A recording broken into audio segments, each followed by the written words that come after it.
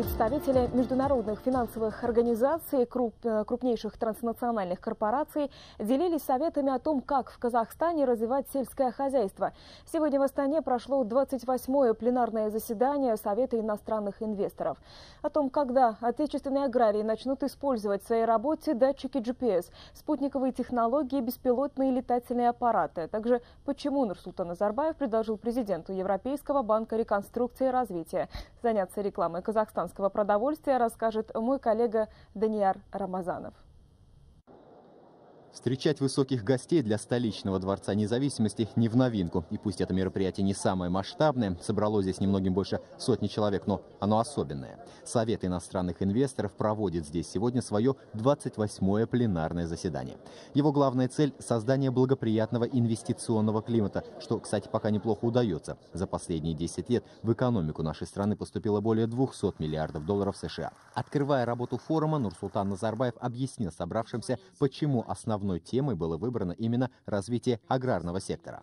Аграрный бизнес в Казахстане становится все более выгодным и важным сектором для экономики. Мы проводим в стране целенаправленную работу для того, чтобы в полной мере использовать потенциал имеющийся.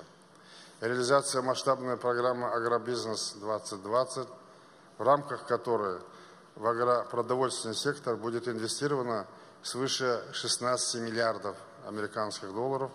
Это немало для нашей страны. Значимую роль Казахстана в мировой продовольственной безопасности особо подчеркнул сегодня президент Европейского банка реконструкции и развития. Шутка ли, наша страна стабильно занимает первые и вторые места среди экспортеров муки и находится в десятке мировых лидеров по продаже зерна. Кстати, о качестве казахстанского хлеба и зерна банкир знает не понаслышке. Более того, как оказалось, это вообще одна из причин, по которой ему нравится приезжать в Казахстан. Я очень рад тому, что сегодня мы обсуждаем сельское хозяйство. Я пробовал очень много вкусной продукции. Рис из Кызылорды, яблоки из Алматы и, конечно же, хлеб из казахстанской пшеницы.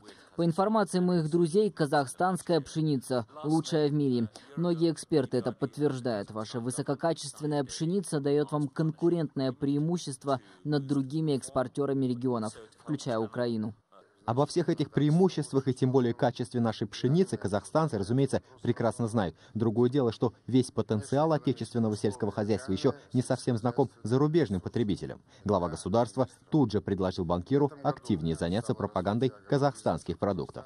То, что вы сказали, что здесь еда хорошая, если президент Европейского банка везде, в других местах будет пропагандировать казахстанское продовольствие, это уже будет помощь аграрному комплексу.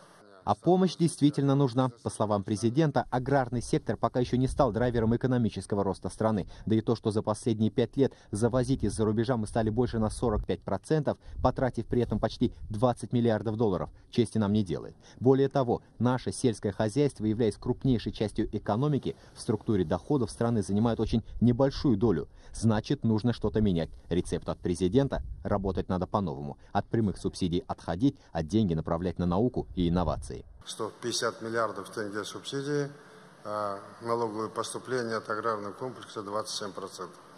Никуда не годится такой бизнес никому. Во всем мире сельское хозяйство переходит в разряд высокотехнологичных отраслей.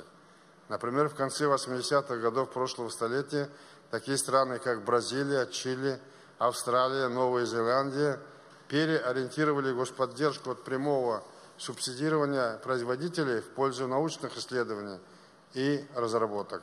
Мы к этому еще даже не приступили. О том, к чему казахстанские аграрии еще даже не приступали, сегодня рассказывал не только президент, но и инвесторы. 215 миллионов гектар наших сельхозугодий – это 4% всех мировых ресурсов. Но результат зависит не только от количества земли, а от качества ее использования. Предложение члена Совета внедрит принцип точного земледелия.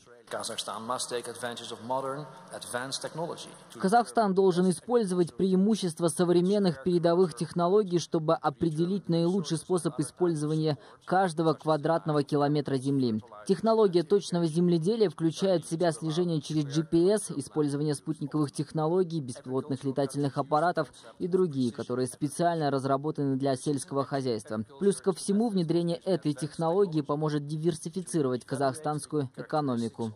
Диверсифицировать казахстанскую экономику должны и новые предприятия. Нурсултан Назарбаев очередной раз призвал инвесторов строить заводы в нашей стране. Тем более, что об условиях, которые для иностранных бизнесменов здесь создаются, можно только мечтать. Инвесторы в приоритетных отраслях у нас освобождаются от некоторых видов налогов, а после запуска объектов государство компенсирует до 30% капитальных затрат.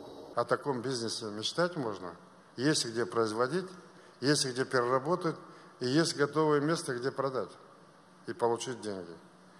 Все это можно у нас производить внутри страны. Для тех, кто готов инвестировать, есть гарантированный рынок сбыта, как вы видите. То, что бизнес мечты в Казахстане – это реальность, как оказалось, инвесторы уже знают. Многие из них даже на сегодняшнее заседание пришли не с пустыми руками. На рассмотрение президенту уже поступило несколько предложений. Уже сегодня ко мне обратились руководители отдельных компаний – с предложениями по созданию производства говядины по высоким международным стандартам. Я поручил правительству поддержать предложение, провести переговоры с этими компаниями. Вообще-то перед началом заседания я сомневался, все же все вы, присутствующие члены Совета, в общем-то, напрямую не относитесь к аграрным сельскохозяйственным делам. Я про себя думал, о чем будем говорить. Однако, как видите, для инвесторов, для финансовых институтов – непочатый край работает. И работать в этом непочатом краю транснациональные корпорации уже начинают. Сегодня же Нурсултану Назарбаеву были презентованы 15 проектов сельхозпереработки, а следующее 29-е пленарное заседание Совета иностранных инвесторов было решено посвятить теме «Астана. Международный финансовый центр». Данияр Рамазанов, Бахтияр Заев, Астана.